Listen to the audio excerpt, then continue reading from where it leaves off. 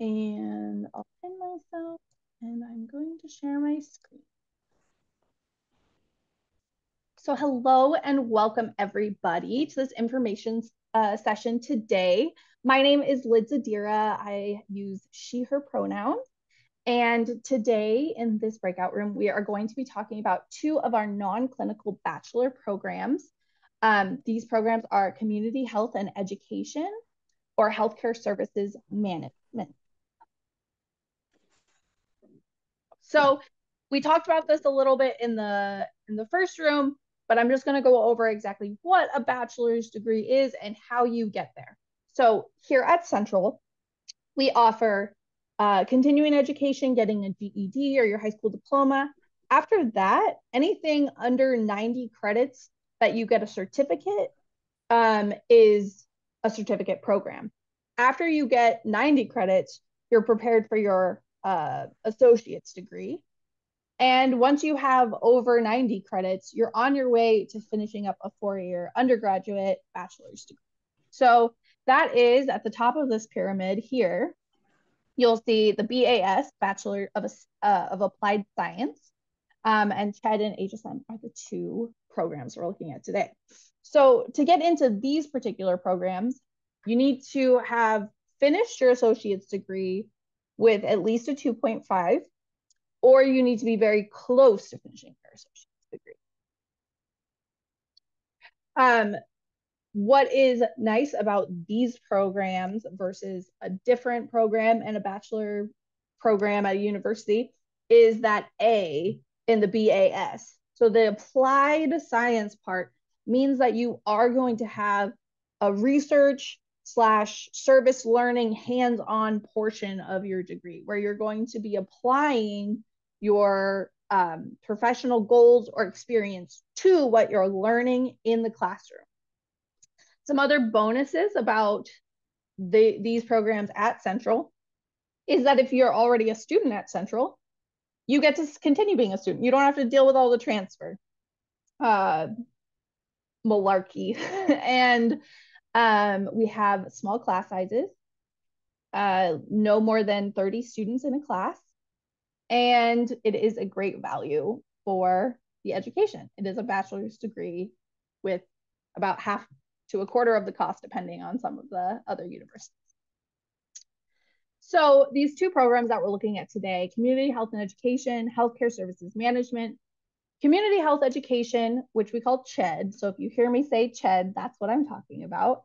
Um, so this is to help educate specific communities and groups about the wellness topics and disease and prevention.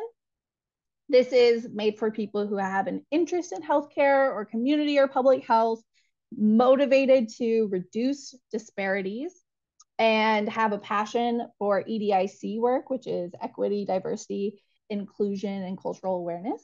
Um, we are excited by this program because it gives people the skills really to develop any kind of education program evaluation. And i mean really it's so diverse in where it could be applied. The healthcare services management is a little bit more specific because we're looking for people who already have a background in healthcare one of the entry requirements for that healthcare services management track is about a year of paid experience. And that's because this is meant to help people, you know, uh, climb up the ladder for a promotion.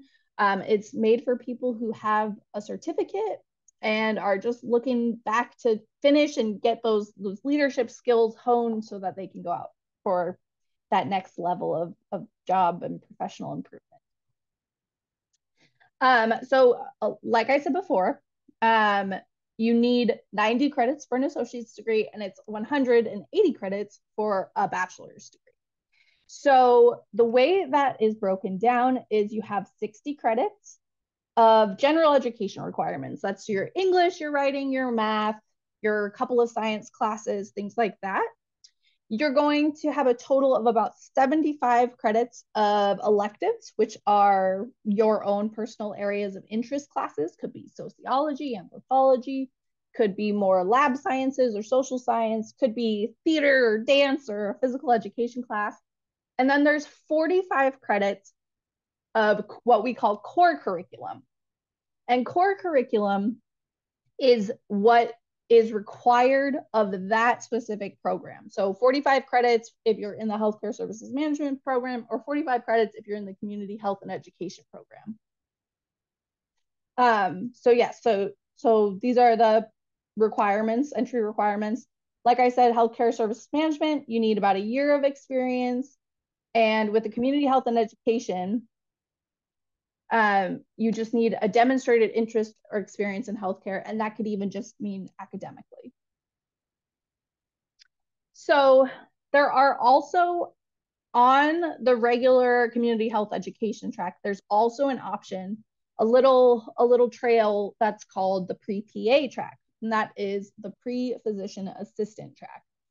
Um, the biggest difference here is the GPA requirement if you are planning on going into some kind of med school, PA school, nursing school, a 2.7 and it's even changing to about a 3.0 is the minimum requirement for these outside programs. So if you're planning on transferring to a PA school, you would need those 2.7 GPA requirements.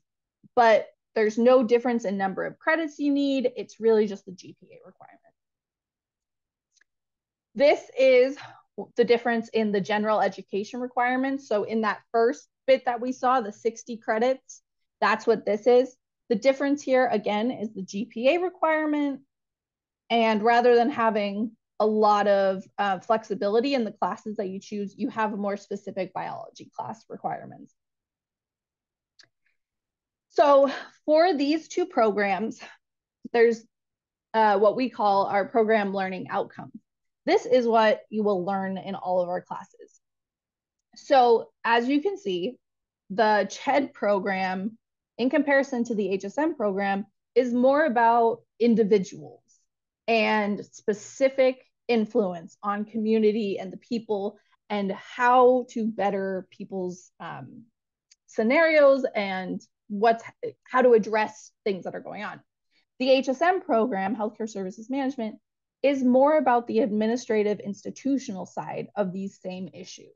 It's about how to organize, how to how to staff, how to maintain financials. So it's a little bit more nuanced in the way um, that you're having to apply it to actual real life versus in the community health education is about researching and problem solving. So if you were to get your degree in one of these areas, you could, with a community health and education background, you could become a health educator, project managers, clinical educators, uh, outreach. Um, the focus here is on education. And with this degree, you become eligible to take what's called a CHES exam, which is the Community Health Education Specialist exam. There is also a master's level exam that you could take after completing a master's program, which is a teaching credential in a healthcare setting. So that's very cool. Um, and along with the pre-PA options, um, if you complete that op that track, then you're eligible for the MEDEX program at UW or basically any PA school. The healthcare services management, um, as previously stated, it is required that you have at least a year of experience, paid experience. So we are looking for people who want to be in administrative le leadership in a healthcare setting. So mainly what we've seen is healthcare administration people or um, healthcare analytics is becoming more popular or becoming more curious about it. Um, so the classes for these programs are, um, like I said, there's 45 credits. Now, we do offer a dual degree option program, which is really nice because there is some overlap. Um, so we have two information and research literacy classes that you could just take once for both programs, or if you're just taking one or the other. Um, and then you could take your capstone simultaneously. So this just breaks down a little bit of what the curriculum would look like. Um, so for the community health and education, There's the principles class, health communication, social determinants of disease, health behavioral change and theoretical foundations, program planning and evaluation, and then community health needs assessment and improvement. And for healthcare services management, there's accounting for healthcare management, leadership and team building or organizational dynamics, a principles of healthcare services management class, a human resources class, financial management in healthcare, healthcare outcomes, and quality management. So all of this is on top of the capstone project. Um, so the capstone project, this represents the culmination of student learning throughout the program. The students will take on a project using a faculty and or a community member to showcase the collective knowledge. Projects will be developed in collaboration with faculty and community members, members and mentors. The content varies based on the student's focus and a final presentation and paper will be completed in reflection of what you've learned in the program.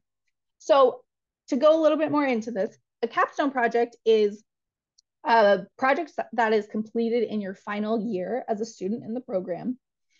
There is a one credit class offered in fall, a one credit class offered in winter, and a final three credit class offered in spring. In the first quarter, fall, you would be selecting your topic and beginning to research, uh, finding uh, articles or journals in the second quarter, you would be formula- formulating your argument and putting together your research. And in the third quarter, you then would present that final paper to your peers and your instructor. So you can see here how the classes are laid out. Something to be aware of with these programs is that they are not offered in a strict cohort model. So students do have flexibility here to um, go full time or part time. The biggest issue here that we run into is that these classes are only offered once a year. So you have to work very closely with your advisor with, with either of these programs would be me. And we have to come out up with a plan for you and stick to the plan or else they can push a student back an entire year. So you can kind of see how these are laid out. You learn about basic research and concept um, ideas. And then from there, you just build on it. So that's something nice about these classes is that once you're in these final curriculum classes, all of the information stacks on top of each other. You're going to be talking about things that all tie to the same theories um, and concepts. So that's really nice once you get into these upper division classes. Um, and then this is what it would look like if you decided to do the dual program where you did both HSM and CHED. So again, you'd only have to take those information literacy classes and research classes one time. You then would have the rest of those um, core curriculum classes, and then you could do all of your capstone together as one big project between both programs. So that's really nice. Um, the difference here where everything falls is that rather than needing 75 credits of those um, electives, you would only need 40 because you'd be fulfilling the, that disparity between those two um, with those other extra um, core curriculum classes. Um, they broke down uh, tuition in the main room, but these are estimate for classes in the BAS program.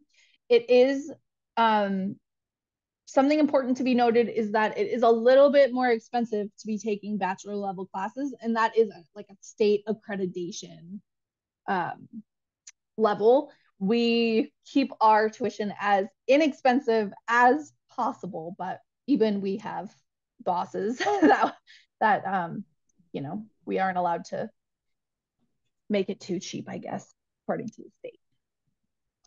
Um, so some of the main questions that I get when I have these information se- sessions are, is there flexibility? Is there options here? Yes, there's the dual program, there's the general track, there's the pre-PA.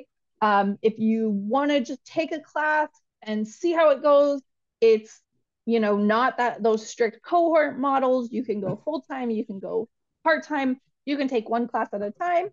Um, we are accredited and we have students who go on to grad school. So um, those are the biggest questions that we get. Um, and I am going to stop recording now so that if anybody has any questions, um,